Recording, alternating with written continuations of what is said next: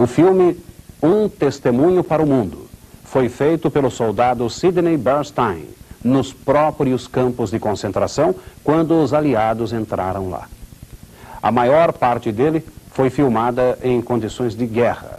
Não teve a intenção de propaganda, mas sim de testemunhar o que foi planejado e executado sob o governo de Hitler.